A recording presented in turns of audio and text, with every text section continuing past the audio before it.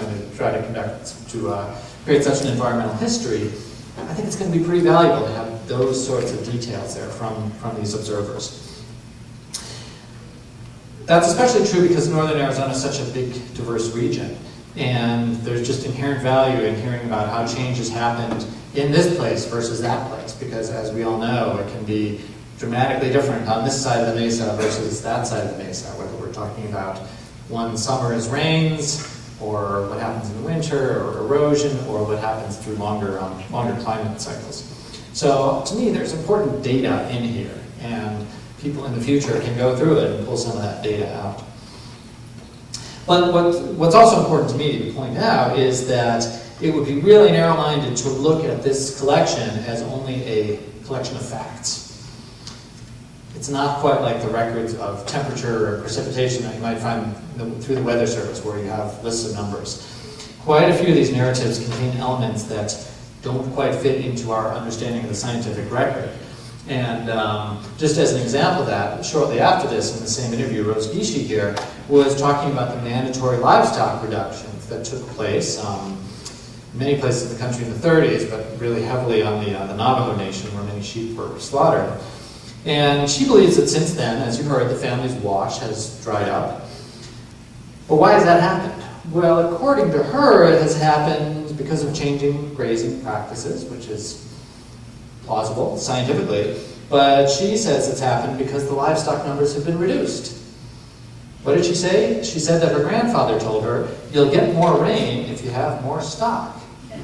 And to me, that sounds suspiciously close to the uh, sort of pioneers' mantra back in the uh, 19th century that rain follows the plow, and so let's go and settle western Nebraska and eastern Colorado and West Texas and all these places where the same kind of settlement that people had been practicing further east just wasn't going to work well. And in fact, rain was not going to follow those plows. So that take is really diametrically opposed to most scientific understanding, which says, well, if you have a whole lot of grazing, you're going to remove the plant cover, and the uh, moisture may not soak into the ground quite as much, and you might you have more erosion and lower water tables rather than higher water tables. So scientifically speaking, there are some questions about this. And I have two reactions to this. The first is that oral history is never going to be just a collection of facts, as I, as I mentioned. It's filtered, it's observation, and it can be close observation, but it's going to be filtered through memory and desire and nostalgia and all the kind of things that cloud our own understanding of just our own past. It's, you all know what I'm talking about there. So it's a very human look at the physical world with all the fallibility that that implies and all the emotion. So, as a journalist, here's, here's my take on it. I am obligated to present my understanding of the context for observations like this. So that's why I'm telling you tonight, and why I wrote in the introduction of the book, that I don't agree with Rose analysis here of why her stream, why, why the wash dried up. It's the same as if I'm doing a story on climate change. And of course, as you all know, there are people out there who will say either climate change is not happening, or if it is happening, it's not our fault, or if it is, there's nothing we can do about it anyway. Maybe that last one's true, I don't know. But, um, and so I might quote somebody saying that in a story, I might use that information, but as a journalist, I'm also obligated to point out that the great preponderance of scientific evidence says, uh, no, it says it is our fault, actually. That's pretty well agreed upon.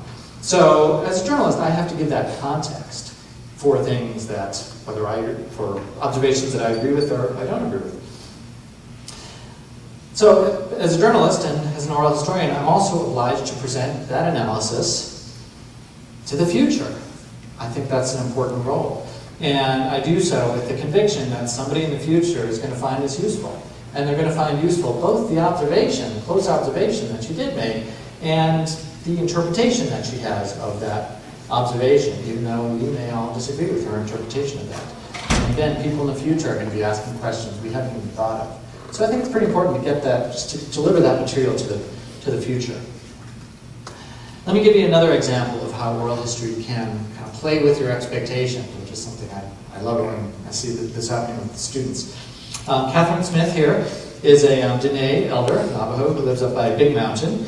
And here's an excerpt from the interview with her, which you'll hear, is in her native language.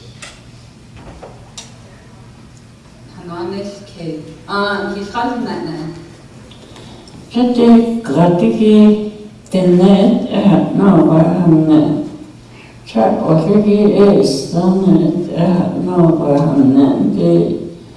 Akkodi sanni klenet rilsu klać evit ezo. A evik evanle kutet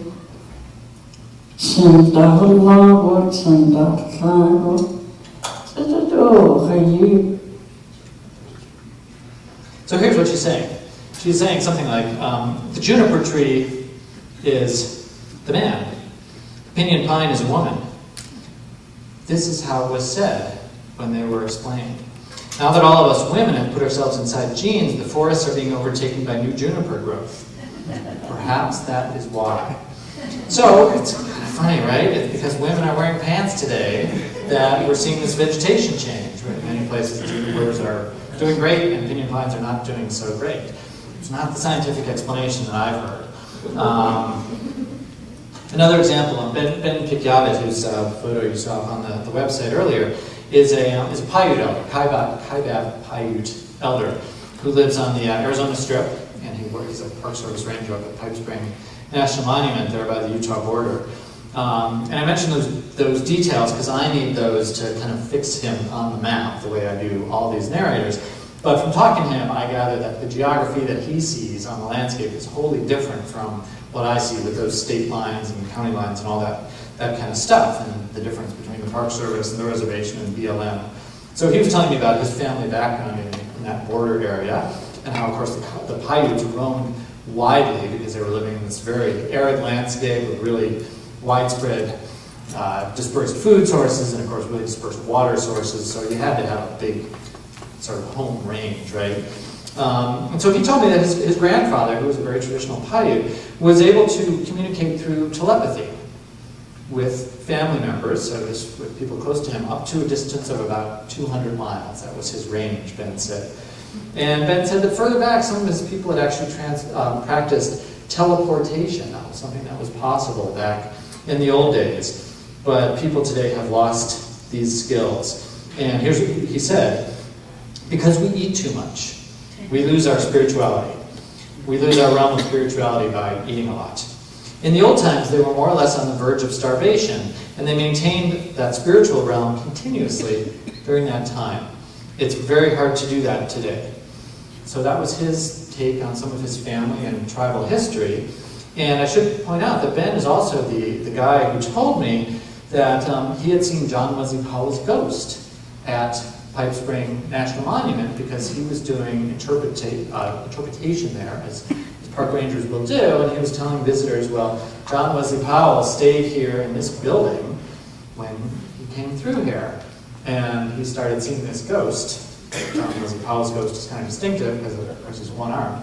Um, and he realized this message, that there's a reason for this. And it turned out that the reason was he was telling the story wrong. He was getting the story wrong. John Wesley Powell had stayed in a different building, not that one that he had been talking about. Um, so John Wesley Powell had come back to correct the Park Service interpretation, right? It's good service. Um, so, so all these stories are kind of funny and they're kind of intriguing and they're kind of way out there. You know, ghosts and telepathy and transportation, the connection between fashion, clothing, and vegetation that's out there on the ground. Um, for me, it's hard to think of the, these sorts of stories in the same realm as data, right? Um, and so that, that's stretches my mind. And what I have to do with that is to um, do what I, well, I have to do this a lot, which is listen to the advice that I give my journalism students, that I should probably follow myself, um, which is that if you're not surprising yourself by what you hear when you interview somebody, you're not trying hard enough. Some of you might know the journalist um, Mark Bowden. He's the guy who wrote the, um, the account um, called Black Hawk Down, which uh, the story about um, American troops in Somalia, and that became a, a movie. So he's a, he's a well-known um, journalist, practitioner of narrative nonfiction. And so he, he wrote this a couple years ago. Every reporter knows the sensation of having a story, quote, ruined by some new and surprising piece of information.